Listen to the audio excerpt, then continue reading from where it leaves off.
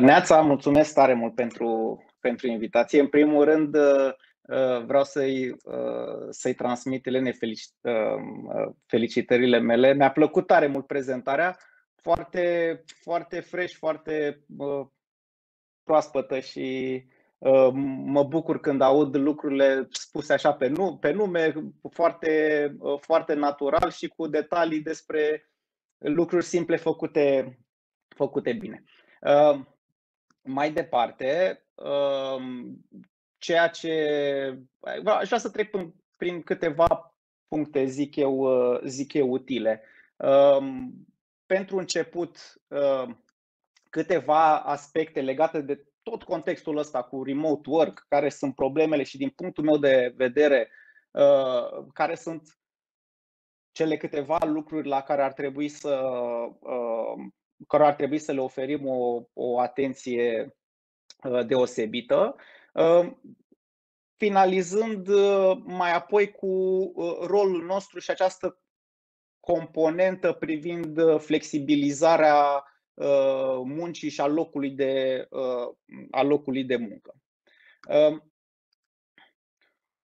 În primul rând, așa, ca să setăm niște lucruri de la bun, de la bun început, sunt tone, zeci, sute de studii din, din toată lumea asta care, care ne arată că um, oamenii vor să păstreze componenta asta remote going forward. Nu, nu se pune problema că nu mai vor să se întoarcă la birou parte din timp.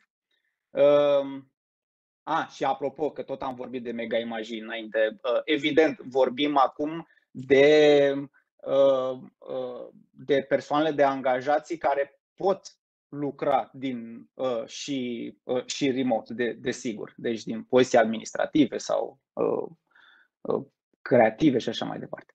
Uh, ok, deci aproape, aproape toată lumea, cu toții ne dorim să uh, păstrăm și dincolo de această, această uh, perioadă provocatoare elementul de flexibilitate și de, uh, și de remote. Din, din, multe, din multe motive, evident, printre cele mai importante sunt flexibilitatea din punct de vedere timp și din punct de vedere Uh, loc fizic uh, din care îmi, îmi pot desfășura munca. Um, evident, apare și elementul foarte pragmatic al, uh, al commutingului. Deci, pe timpul petrecut în trafic, mai ales dacă am eu ce am cu piper, am cer scuze, nu vreau să rănesc sentimentele nimănui, dar dacă, dacă sunt, nu știu, stau în drumul taberii sau în sudul Bucureștiului, nu cred că mai vrea cineva să petreacă două ore în mașină dus întors uh, zilnic. Um, Asta, bun, astea sunt avantajele. Dezavantajele și mi-am permis din acest studiu Buffer, care e foarte relevant uh, internațional, uh, să extrag niște concluzii și din uh, cel făcut anul, ediția din anul trecut și cea din, uh, din anul acesta, rezultatele fiind disponibile de uh, acum câteva, câteva săptămâni. Uh, deci sunt probleme de, uh, de colaborare, de comunicare, uh, sunt uh, acasă distras de tot felul de lucruri, vecini, copii și așa mai departe, uh, dar Uh, această problemă not being able to unplug, uh, nu, nu mă pot deconecta, practic burnout-ul, uh, a ajuns după un an de pandemie să fie pe primul, pe primul loc din punct de vedere al a ceea ce ne transmit angajații, ceea ce simțim cu toții la nivel personal. Bun, deci astea sunt problemele așa cum sunt ele percepute de către oameni burnout-ul, probleme în, în colaborare, uh, mă simt singur dacă uh, trece mult timp fără să ne mai uh, reunim, să mai învăț colegii și probleme de concentrare dacă fac zi de zi treaba de, de acasă. Acum, dacă săpăm, mergem un pic mai adânc, mai în profunzime. Eu am identificat niște Uh, un alt set de probleme de, de, de substanță, lucruri care pot fi adresate și care, la rândul lor, ar putea să îmbunătățească experiența oamenilor și să evităm problemele din primul, primul set, cele, cele, cele enumerate mai devreme. Sunt Desigur că sunt multe alte lucruri, dar din punctul meu de vedere și am petrecut, nu știu, ultima jumătate de an, cred că am trecut prin orice studiu, survey, tot ce mi-a, mi-a trecut prin mână, am distilat așa, mi se pare că sunt trei probleme foarte importante. Um, partea de comunicare în timp real, um, uh, rămasă ca default, ca, ca modalitate de bază de comunicare, chiar și Uh, atunci când lucrăm remote. E, e normal că atunci când eram cu toții în birou, uh, aveam o, o întrebare, uh, îl întrebam pe coleg, ziceam, hai să discutăm repede, nu știu ce chestiune, putem în 15 minute să ne vedem, să, să concluzionăm pe nu știu ce subiect. Atunci, atunci însă când lucrăm fiecare în, în timpul lui și încercăm să ne alocăm niște sloturi, așa, nu știu, un interval de timp în care să fim productivi și să facem ceea ce se numește uh, uh, deep work, cumva o muncă în care trebuie să fiu concentrat și să livrez ceva, uh, aceste uh, întreruperi, uh, instant messaging, uh, telefon, uh, zoom-uri, call-uri, unul după altul, uh, este în timp devine extraordinar de dăunător nociv Uh, nu doar în acel sentiment de burnout, dar, uh, dar și din punct de vedere clar productivitatea, productivitatea oamenilor. Bun, deci asta este unul. Uh, doi, micromanagementul. Să spunem lucrurilor pe nume. Există foarte mulți manageri care încă nu s-au adaptat, adică încă, încă au un oarecare disconfort când, când știu că oamenii nu sunt sub directa lor supervizare și atunci din din lipsă de încredere, poate din, din procese insuficient regândite pentru în acord cu noua realitate, uh, uh, simt nevoia de a fi în permanență în, în, în, în, în control. Și atunci supervizează că oamenii uh, muncesc în loc în loc să uh, mai degrabă să se uite la output, la valoarea adăugată pe care, uh, care se creează. Adică sunt alte, alte metode prin care uh, putem implementa niște practici mai bune de, de management. Și trei, chiar dacă în mod cert aproape toate companiile vor rămâne într-un model hibrid, vor combina munca remote de, cu biroul, Uh, mai ales perioada asta când suntem uh, cu toții distanțați și am simțit-o și eu pe propria piele cu echipa, cu echipa mea, uh, e un fals sentiment că, adică nu e un fals sentiment, lumea chiar a fost mai productivă, dar, dar asta se poate întâmpla pe o perioadă relativ scurtă de timp. Dacă, dacă trece mult timp și nu, nu creăm acele oportunități de, de întâlnire și în, uh, uh, și în offline, um, lucrurile se pot degrada din mai multe, din mai multe puncte de vedere. Ok. Uh, ca și, ca și soluții, iarăși, cu modestia de rigoare, doar am identificat cinci lucruri la care um, și eu lucrez cu, cu echipa mea. Poate unele dintre ele vi se par, vi se par utile și interesante sau în mod cer deja le-ați implementat. Uh, în primul rând, ca răspuns la acea problemă de comunicare în timp real, munca uh, asincron. Munca asincron înseamnă a pune, uh, a pune un, un focus mai, mai mare pe, pe procese, pe comunicarea în scris. Trebuie să ne învățăm angajații Ă, să scrie, pentru că ăsta este un mod default de comunicare. Să scrie în sensul de a fi pregătiți. Dacă nu, nu uh, pun repede o, o, o, o întâlnire, iau o oră din timpul tuturor, uh, doar pentru că mi-a venit o, o idee și hai să vă spun și re, uh, singurul outcome al, al întâlnirii este că am mai stabilit încă o întâlnire peste trei zile sau săptămâna, săptămâna viitoare cred că de, ține de fiecare dintre noi să se pregătească la nivel individual, astfel încât să aducă valoare în întâlnirea aceea și, a, și eventual chiar să, să trimiți uh, pregătirea, ce am, ce am putut eu construi până la un anumit punct individual, să-l trimit și celorlalți ca să poată să contribuie uh, înainte de această întâlnire în timp real, fie că e offline sau, uh, sau online, uh, uh, și uh, astfel să o facem mult mai, uh, mult mai productivă. Uh, da, asta e, mă rog, știi, emoticoane s-au, s-au schimbat față de versiunea originală, dar asta era, asta era ideea. Dacă, dacă avem un mod de operare remote, dar comunicăm în continuare în timp real, telefoane, uh, Zoom, uh, WhatsApp, uh, foarte multe distrageri, foarte multe întreruperi, e, e, chiar, chiar e un, un, un coșmar.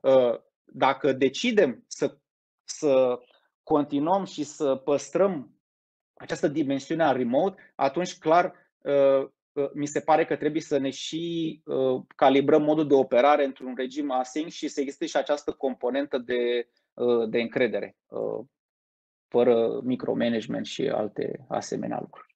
Um, ideea de, de, a, de, a, de a documenta.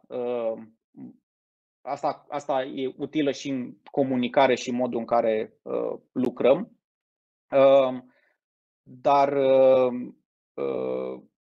este și o chestie de care ajută la scalarea organizațiilor, pentru că uh, un, un angajat nou peste, peste 2-3 ani uh, trebuie să primească de la început informația, contextul, să înțeleagă contextul și know-how împachetat și gata de digerat într-un, într-un timp foarte scurt, uh, aceeași calitate, cantitate și calitate de informație pe care o aveau și, o aveau și angajații, angajații mai vechi focus pe output. Uh, nu mai contează neapărat timpul petrecut. Uh, haideți să ne uităm uh, la, la ceea ce produc oamenii și paradoxal, eu vreau să vă zic că, cel puțin la mine în echipă,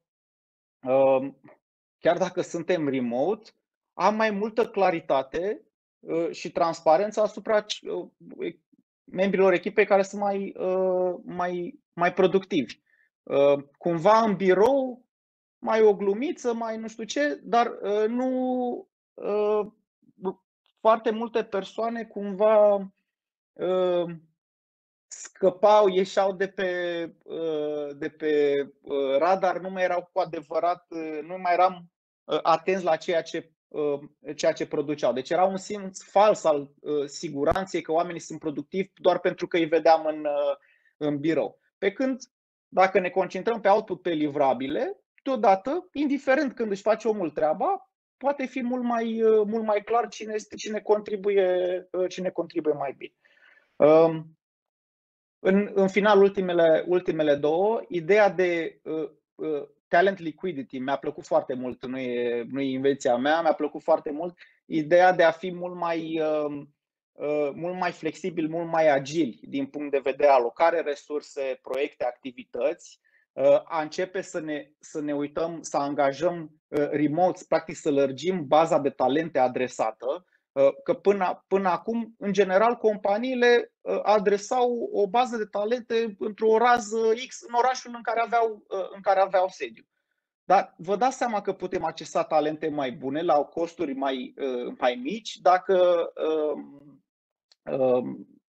dacă luăm în calcul ideea de flexibilitate și de a uh, angajații de a lucra, de a lucra remote.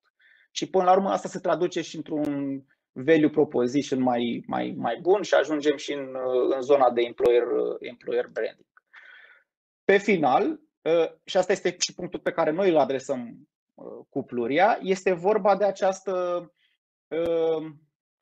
proactivitate când vine vorba de a crea contextul potrivit pentru socializare și acele momente de serendipity, cum se numea, acele discuții în jurul uh, dozatorului de, uh, uh, de apă. Um, deci avem nevoie de un, de un pic mai multă proactivitate și să punem un pic mai multă energie în a crea ocaziile potrivite pentru a stimula interacțiunea și a, uh, interacțiunile între, între colegi și a ajutat la construirea culturii organizaționale. Și aici intervine punctul pe care îl adresăm noi cu spațiile de lucru flexibile, pentru că dacă vorbim de această flexibilitate și de engineer sociability, de proactivitatea în a, în, a, în a crea contextul potrivit, atunci avem nevoie și de uh, spații de lucru uh, flexibile, disponibile la cerere. Uh,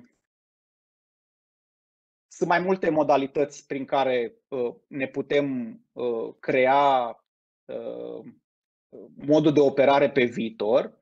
Noi am descoperit că 60, uh, încerc să merg mai repede, 65% din, uh, din respondenți, mă, mă refer în zona de blue, white collar, evident, um, simt nevoia de a, uh, de a accesa și alte spații. Adică mulți sunt prinși la mijloc între birou și work from home. Nici nu mai vor să stea două ore în mașină, dar în același timp nici nu pot lucra în fiecare zi acasă sau pot, pot apărea zile în care nu sunt productiv pentru că sunt întrerupt.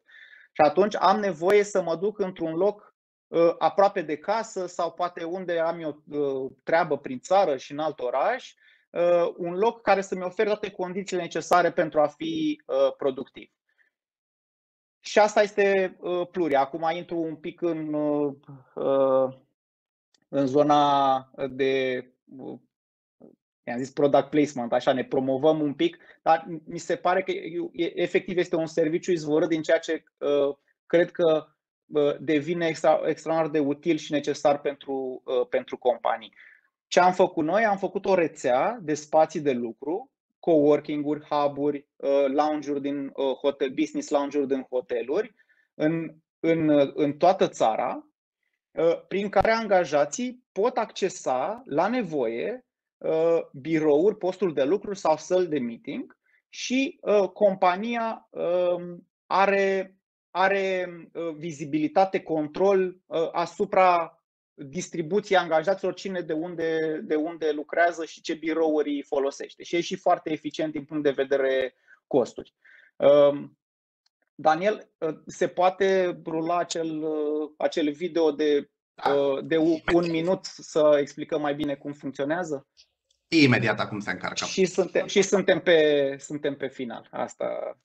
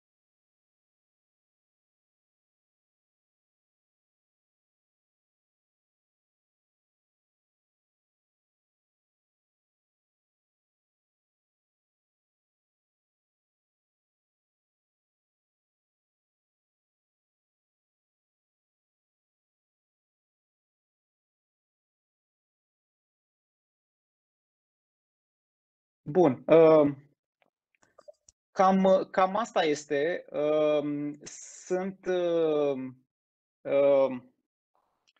sunt foarte multe provocări, sunt foarte multe elemente pe agenda de, de HR. Um, sunt lucruri de optimizat, lucruri noi la care trebuie să ne gândim și uh, uh, sper doar că noi ca și furnizori de, furnizorii unui astfel de serviciu putem ajuta măcar dintr-o, din acest unghi, din, din, din perspectiva flexibilizării a locurilor de, uh, locurilor de muncă.